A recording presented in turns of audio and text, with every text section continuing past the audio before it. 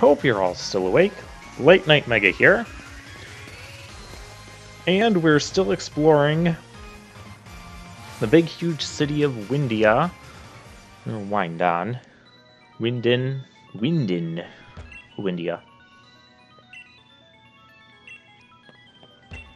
Uh, I did get us back to the Poke Center. There was nothing else really going on in between uh, the the area we were with the hotel and that. So now we're over here.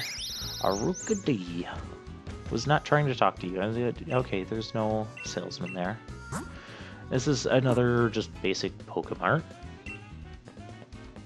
Very well. Anything else here?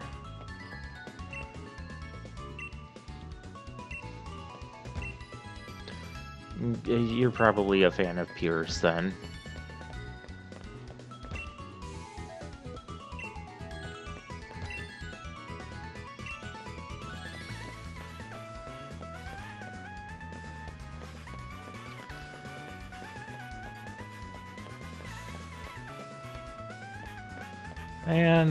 And there's not much here. This is the uh, this is the monorail system which can take us to the other parts of the city. The Rose of Rondelands? Okay.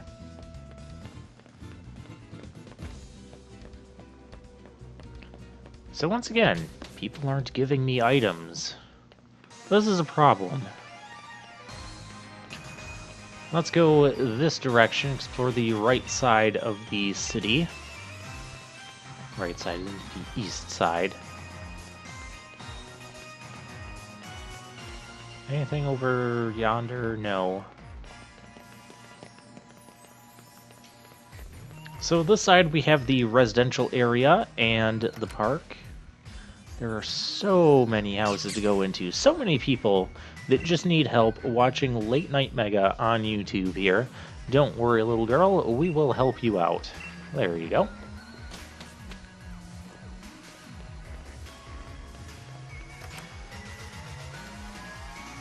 My next house, these people are talking to each other when they should be watching Late Night Mega on YouTube. I hear he's a pretty swell guy.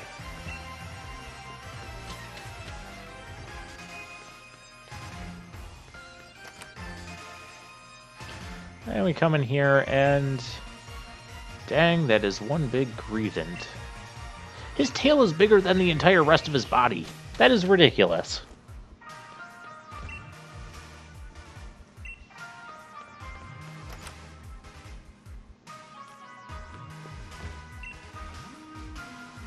a big screen, so you need to be watching Late Night Mega on the big screen. There you go. Oh my gosh, look at all these houses. Is someone gonna give me something? You, stop watching books, start watching Late Night Mega. You're not even giving me anything. Maybe you don't deserve to watch Late Night Mega.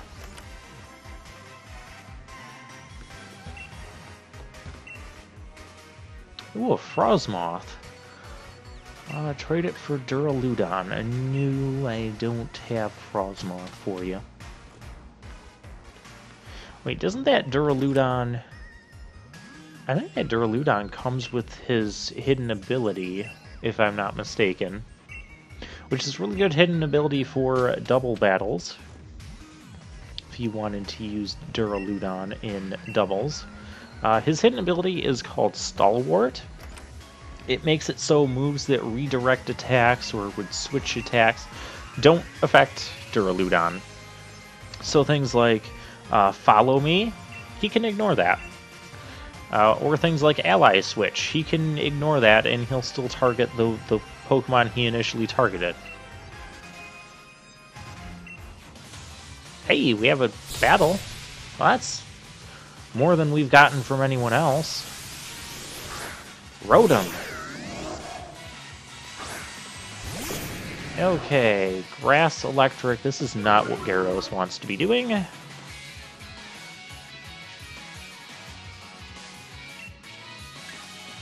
Uh, this is a mistake. This is now a bigger mistake. Will-O-Wisp. That's not better. I think the only reason I stayed in is because isn't this thing like level 35 or something? 34, yeah. But if we're burned, we're not going to kill the thing. If we're missing on 95% accuracy moves, we're not going to kill the thing.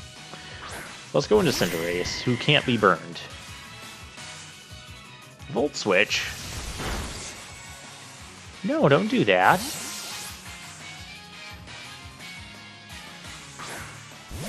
And there's Rotom Wash. You know, the Rotom Rotom forms, they've always kind of annoyed me. I've never like I it's one of those Pokemon I like using them, but I hate seeing them all the time and they're super popular and competitive. I kind of would have preferred if the Rotoms weren't in the game. But they're here. I mean, they have they have all these different forms. I like that they have the different typing. They're not all just electric ghost type like they initially started off. That was kind of ridiculous. Freeze dry. Finish off that Rotom. But like Rotom Wash is water electric type. And there's so many different things the Rotoms can do. Which can make them tough to battle against if you don't know which one you're dealing with. Like they could have trick, uh, they could trick like choice scarfs on you or choice specs. They can volt switch around a lot. They get Will-O-Wisp, and then they get their signature move. They get discharge as well. So like Rotom Heat here has overheat, so it can come out and blast something pretty dang strong with a fire attack. Uh, Rotom-Mow gets Leaf Storm, and they've got great stats, pretty much all over, uh, except for physical attack. Their HP is pretty bad too. You gotta you gotta invest in their HP stat when you're using them.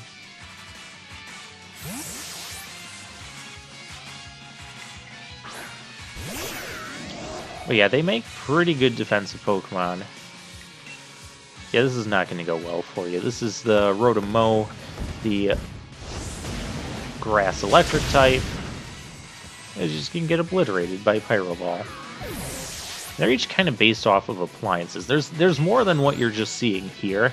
There's also Rotom Fan, which is electric flying, and then there's Rotom Frost, which is electric base. And all the forms have the same base stat distribution, which is actually pretty good. Uh, the basic Rotom form, the Light Bulb form, is an Electric Ghost, and it, it has different stat distributions. Like, it's not as defensive as these other ones, but it can be... They can function as physically defensive, specially defensive. They can... Uh, they can function offensively. So yeah, they they can do like substitute nasty plot.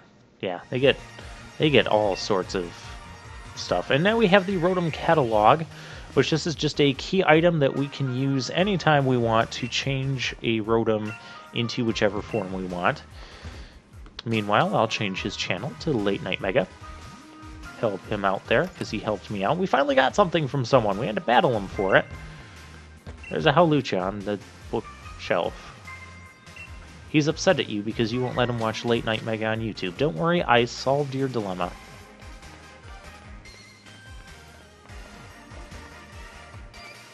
Now we have a park.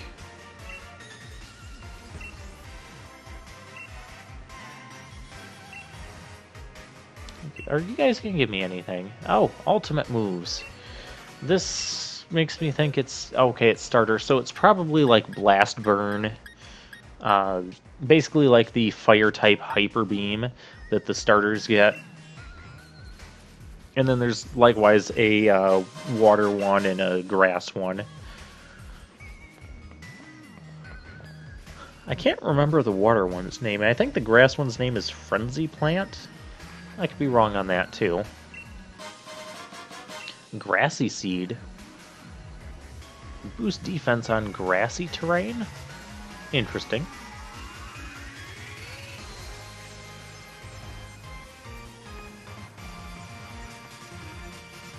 Okay, is there anything here? There's nothing here. This section of the park is a waste. Burn it down, Cinderace. Just burn it all down.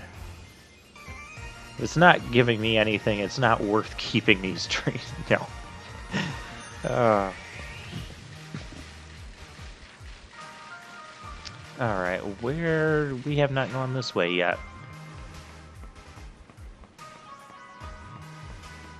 What are we gonna find this way? There's a there's an item, a nugget. A nugget of information. Lots of park benches that we could sit at for some reason. And trash cans that don't seem like they have anything. We have a, a blob of black sludge. I like that. So basically, if you uh, if you give this to just any Pokemon, it's going to it, it's basically like an inverse leftovers. It will lose HP every turn instead of gain it back. But if you give it to a poison type Pokemon, it acts like a leftovers. So it's really good for poison types in the competitive meta because, well, when we're on the Battle Stadium ranked battles, uh, I mean, the rules change like every month. Every, every season they, they swap the rules. But uh, one of the common rules, and I haven't seen them change this one yet, is that each Pokemon can, has to hold a unique item. I mean, you don't have to hold an item, but no two Pokemon can hold the same item, is what I'm trying to say. So if you give a Pokemon leftovers, you can't give another Pokemon leftovers. But if you have like a defensive poison type that wants leftovers recovery, you can give them Black Sludge instead, and that will act as a leftovers. Also, in the rare instances that uh, your Pokemon ends up falling to a trick move, like with Rotom, so Trick will swap items on each Pokemon. So your opponent will usually what happens is they'll swap like a lagging tail, which will force you to go last every time, or they'll swap a choice item, whether it's choice, usually choice scarf, sometimes choice specs or uh, choice band, and what that does is it means that you will lock, be locked into uh, a single move, which is really bad for defensive Pokemon that need to switch up their moves, like between their recovery moves and their status moves and all that. So it's really bad for them. Um, but if you use Trick, you have Black Sludge, they, your opponent uses Trick, well now they get the Black Sludge, and if they're not a Poison type, which they're probably not, then they're just going to take gradual damage every turn because of that. So that can be another uh, unique niche for a Black Sludge.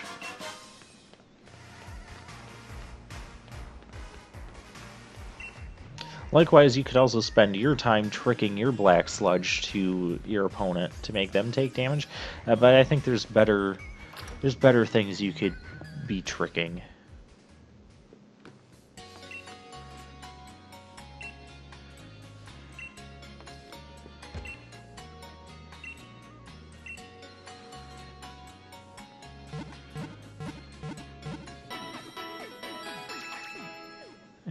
We'll heal up again, because we did have that battle with the Rotoms.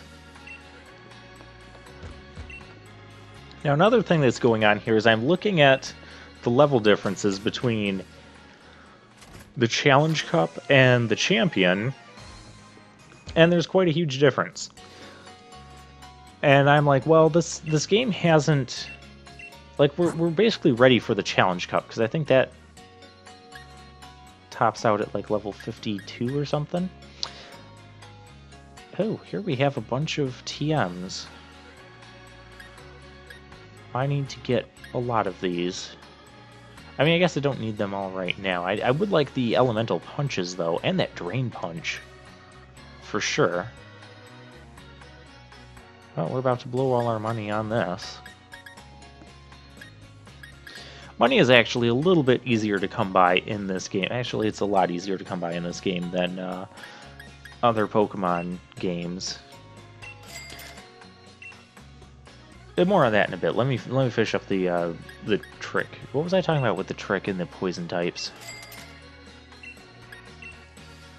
I had another thought on that topic, and then we then got distracted by elemental punches.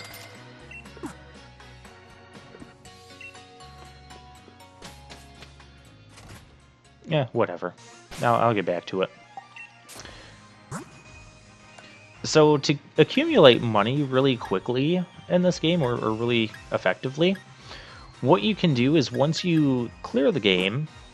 Oh yes, I was talking about the the, the, the speaking of clearing the game. Haha, that jogged my memory. We're talking about the champion in, in Challenge Cup. So I'm kind of guessing that there's going to be some content between the Challenge Cup and fighting the champion. Because I can't imagine that this game this game has been pretty well balanced as far as like leveling has gone and not been like giving us huge level spikes other than the one bakery that almost killed us. It killed the Nuzlocke. But uh, other than that, things have been pretty stable. So I feel like there's going to be something between there. At least that's the risk I'm going to be taking very shortly. Because I'm just going to go for the Challenge Cup. I'm not going to level my team up to like 65, I think is where I'd need to be. 65-ish. So, yeah.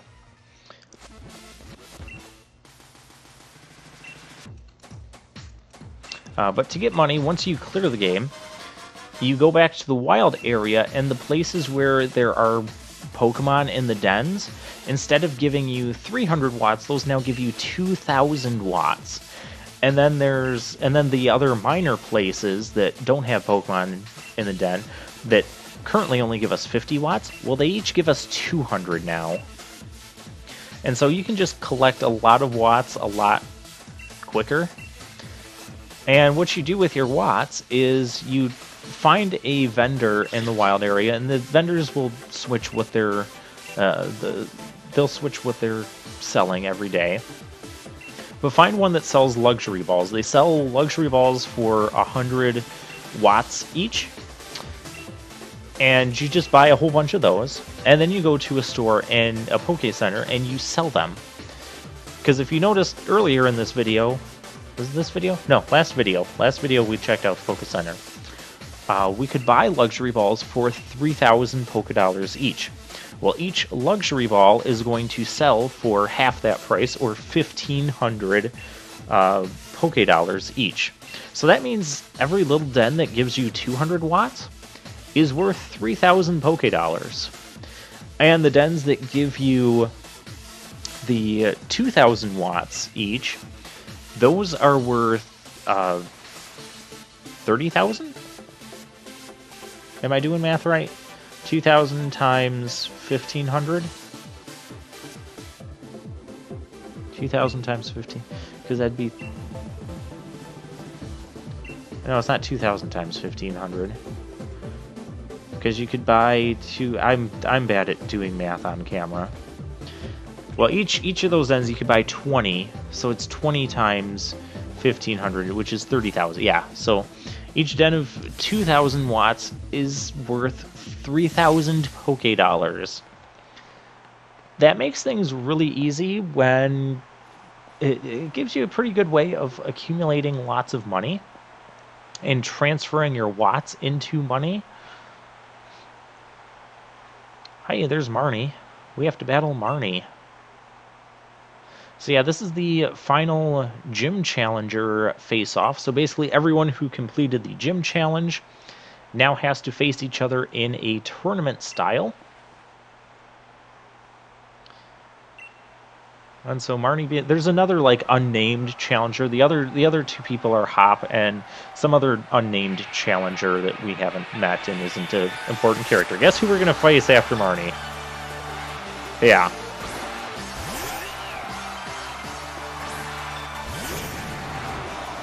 So it's Marnie, and we have a slightly different uh, track for for her theme, which is pretty cool. It has some crowd cheering in the background of the, the theme. I like it. Although I think I like her normal theme just better. Alright. Liepard is going to nasty plot up. Gyarados is going to proceed to not care. And this is kind of the power of Gyarados. Gyarados is going to make things like easy mode here.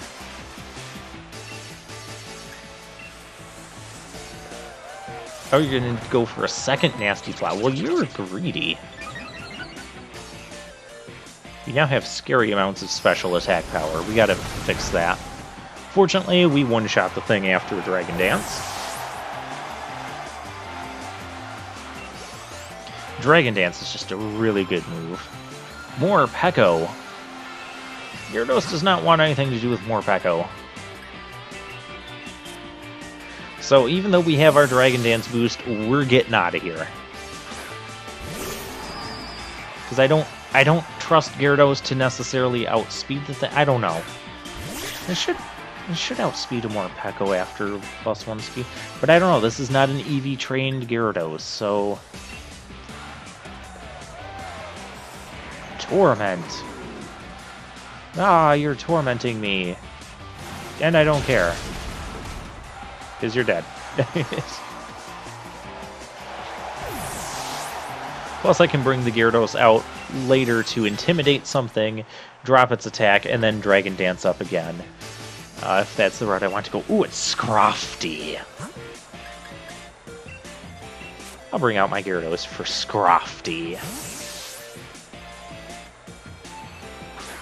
Maybe we will try this Dragon Dancing again.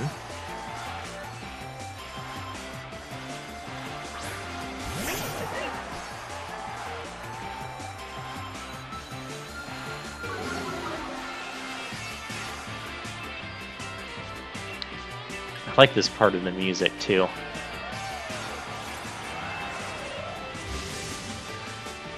One of my favorite music themes in the game I think it's a lot of people's. Yeah, that crunch didn't do much. You know what? We're going to go for a double dragon dance. Double dragon.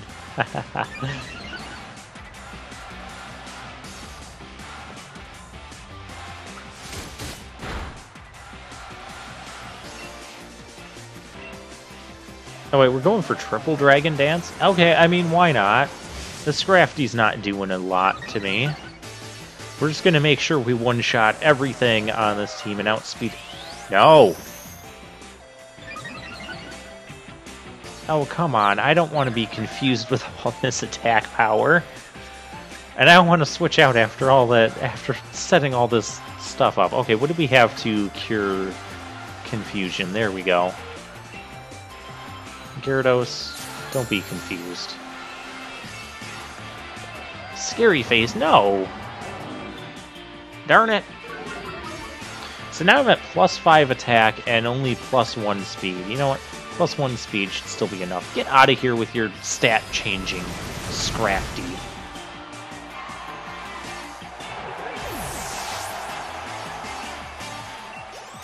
Yeah, we're just now going to obliterate everything she sends out. Toxicroak, it's dead.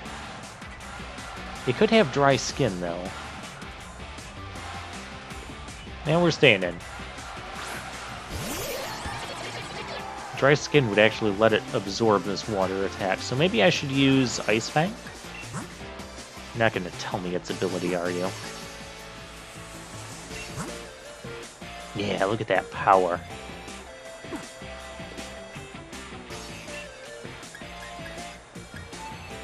Oh, we're Dynamax. Oh, yeah, that's right, because we can Dynamax here.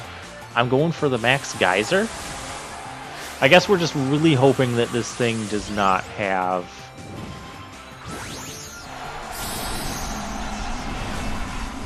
Yeah, because this isn't in the stadium, so we do get to Dynamax. I'm just really hoping this thing doesn't have dry skin. Oh, darn it, it has dry skin. No! Don't do that. Ah, uh, you're wasting my Dynamax turns. What I wanted to do was set the rain for her final Pokemon, which would probably be Dynamaxing. Now we're spending time doing this. It's gonna Sucker Punch, and now we're spending our final Dynamax turn setting Hail. I should just went for this to begin with.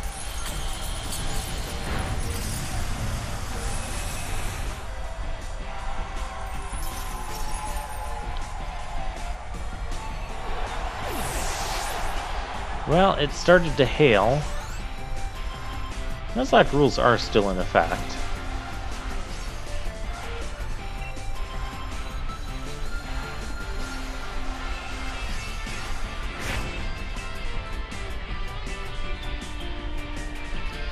There's Grimmsnarl. Is a dark fairy type. I like the design of Grimmsnarl. I mean, that's exactly what you'd think a dark fairy type would look like. Uh, you know? We're at plus six attack. We should still be faster than it. This thing Gigantamaxes. It has a special Gigantamax form. I believe its special Gigantamax move has, I think it's a dark version, and I think it has like a 50% chance of putting your opponent to sleep. Might even be more than that. In addition to doing damage. We're not going to find out any of this because we just one-shot the thing with our plus six attack Gyarados. Oh my gosh, that is ridiculous.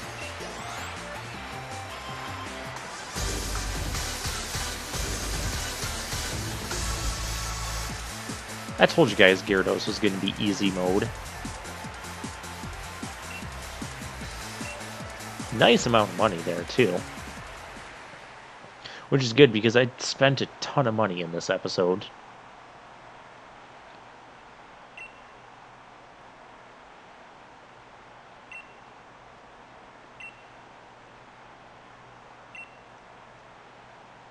Hey, speak for yourself. I didn't lose.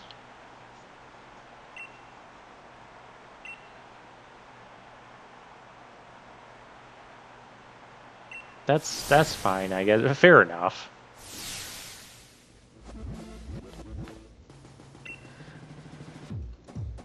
And yeah, Hop won his match, or he's going to win his match. Spoiler alert: We're going to face Hop in the uh, to determine who gets to go on to. Um, you actually go on to the Challenge Cup. Only only one one of the gym challengers gets to go to the Challenge Cup.